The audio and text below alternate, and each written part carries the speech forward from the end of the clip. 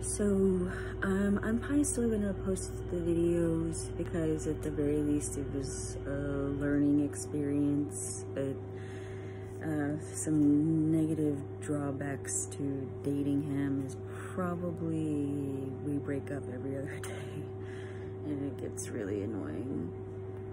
When he, I mean, we almost always make up within like an hour or two, but it's just draining. Uh, also, he's very offensive. Some of it I think he doesn't mean the way he means it, but some of it comes off really bad. Um, so yeah, he's very insulting and mean. Um, but I'm gonna post, you know, the videos anyways, you know. Um, but yeah, uh, I broke it off for good this time, so now it's just a matter of like working to move out. I'm done dating for a while, or I'm pretty much just done dating. It's too depressing. It's too much, it's too depressing.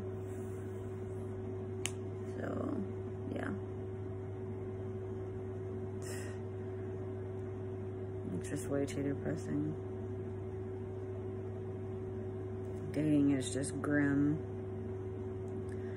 So yeah, I'm just, I'm really, I'm, oh, I'm just done dating. I'm just gonna focus on work again. Just hyper focus on work.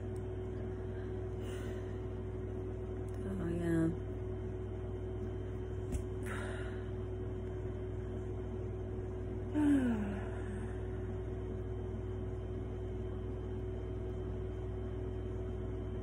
But yeah, it's like clear to me. I mean, I'll just never be happy. I'm never finding love. All he does is passive aggressive bullshit, insults, all kinds of stuff. Like the bad just outweighs the good. All the time. So. I'm not saying he's a bad person. He's just a bad person with me. over.